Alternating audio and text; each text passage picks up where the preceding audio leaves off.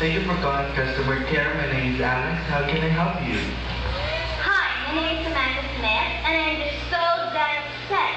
You guys are overcharging me. What the hell is this charging my bill? We apologize for the inconvenience, ma'am. You are calling about the one-time charge in your bill. Am I right? Are you deaf? Yes, and I wanted to credit that amount now. I was not even informed about it.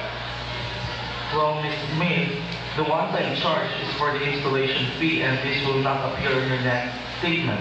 We apologize, but we don't have the option to credit the charge. You know what? This is. I don't want to waste my time, Goodbye.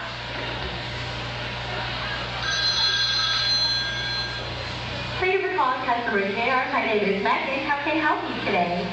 You know what? This is my second time calling you guys, and I don't want to talk to customer care anymore. We apologize for the inconvenience, but I'll be glad to help you with your concerns.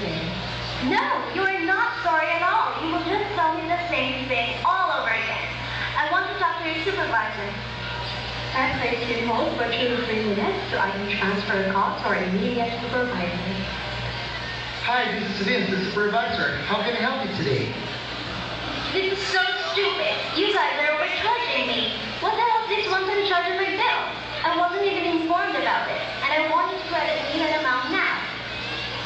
I understand that you're upset now.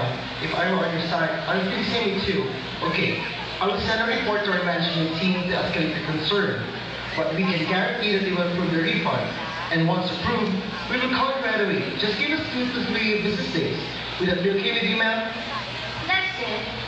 Would there be anything else that I can assist you with today? No, that's all. Thanks for your help. Thank you for calling Capsi Customer Care. Have a great day.